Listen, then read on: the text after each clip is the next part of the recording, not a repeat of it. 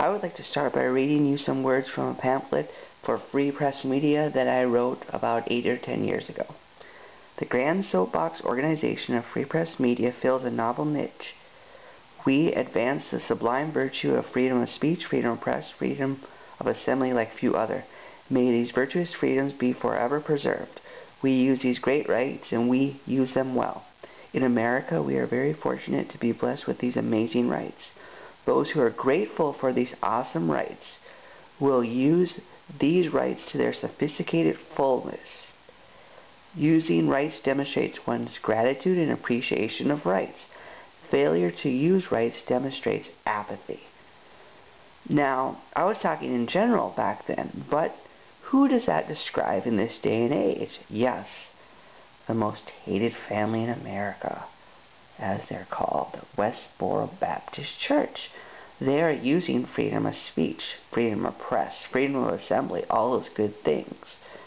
Now, I saw one web page that was out there to criticize the people who are against gay marriage laws because they think their freedom is going to be taken away. And it said, well, Fred Phelps' freedom is not being taken away, and he says the worst things at the worst time was their exact phrase, the worst thing at the worst time. So we could consider Westboro Baptist Church to be doing us a favor, in a sense. They are out there giving their message so the freedom of speech and freedom of press and freedom is preserved for everyone. I appreciate that. I love it. And I want freedom of speech and freedom of press to be as much as possible. I hope one day, if I ever get into a situation where my freedom of press is in jeopardy or my freedom of speech is in jeopardy, the precedents of their court cases will be used. I would certainly appreciate that. Now, I'm certainly outspoken and I love to express myself, so it's very possible. My words have been banned before and they have got me into trouble. Good trouble, that is. I'm glad to get in trouble for the right reasons. So I would like to say to anyone who has a problem with Westboro Baptist Church, in America we have freedom of speech. If you don't like freedom of speech, get out. In fact, why don't we just give a collection to you? If you don't like freedom of speech, I say to you, love it or leave it.